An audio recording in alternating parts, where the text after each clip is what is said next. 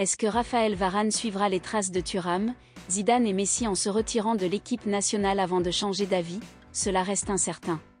Ce qui est sûr, c'est que le défenseur central de Manchester United a pris cette décision de manière mûrement réfléchie. Sur sa page Instagram, le joueur a exprimé sa fierté d'avoir porté le maillot bleu de l'équipe nationale et d'avoir vécu une des plus belles expériences de sa vie.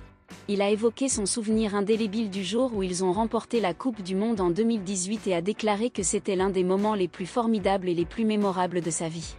Raphaël Varane a expliqué sa décision de se retirer de l'équipe nationale dans une interview sur Canal Football Club.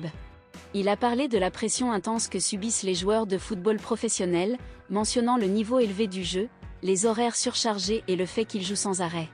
Il a également exprimé son sentiment actuel d'étouffement, indiquant que le joueur de football risque de dévorer l'être humain. En attendant de savoir si Raphaël Varane pourrait revenir sur sa décision, certains journalistes ont déjà leur avis le dessus. C'est le cas de Loïc Tanzi, journaliste à l'équipe, qui était présent sur le plateau de l'équipe du soir.